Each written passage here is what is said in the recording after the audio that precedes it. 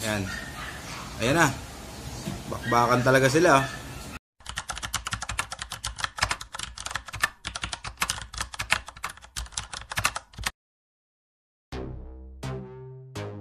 Ayan mga kadagit ang maglalaban. Pakita muna natin yung maglalaban bago natin iangat. Ayan, nakita nyo naman siguro yung sukatan. Bumalikat naman siguro itong tala. Ayan, pero sadyang makapal talaga yung samon at mahaba yan sa buka. Ayan. Pero bumalikat yan, bumalikat. OS naman yung ating tala. Ayan, nakita nyo naman yung sukat, nakapatong ng 10 piso. Ayan, marami pa kayong abang mga kadagit. Ayan po, oh. mga nakaredy yan ngayong araw rin yan. Yan, shoutout sa inyo lahat. Comment lang kung kanino kayo. Pili na, kampihan na mga kadagit. Sige. Game, rares. Rare na Samon versus rare na Tala. Cebu versus Isabela.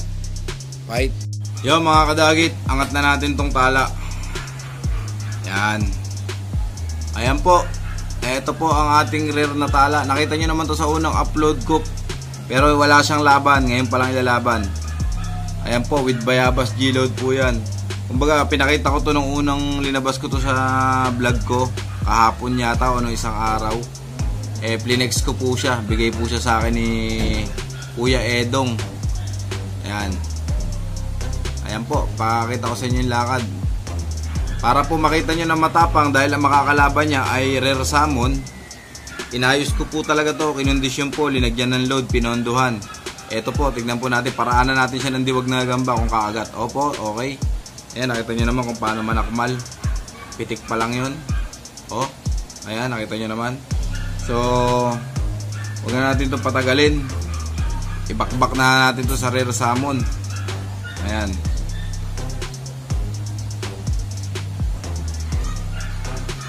Nakita nyo naman yung video bago natin siya iangat.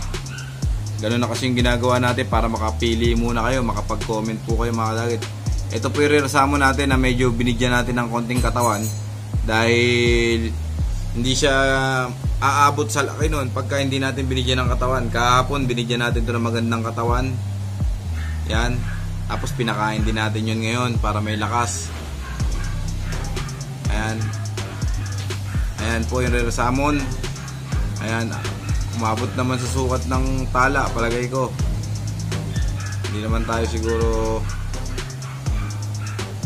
Ayan. Po yung tala.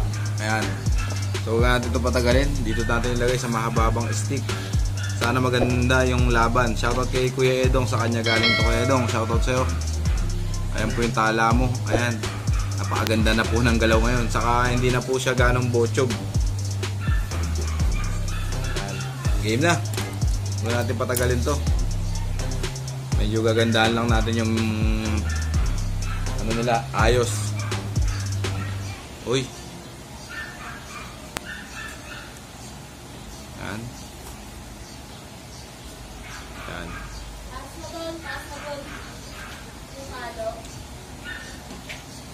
Yan. Okay. Pili na. Salmon versus Tala Sibulain. Game. Grabe. Palagay ko papalagay yung ano dito. Itong tala na to. Ayan. Ayan na. Bakbakan talaga sila. Uy!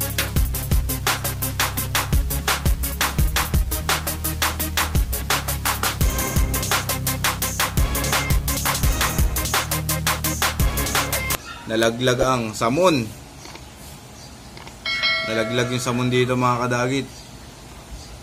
Ayan o. Oh. Wala na. Ay! Stroke ang samon. Sana walang sugat tong tala. Para mailaban pa natin.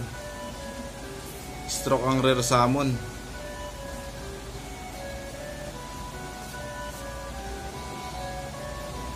Uy!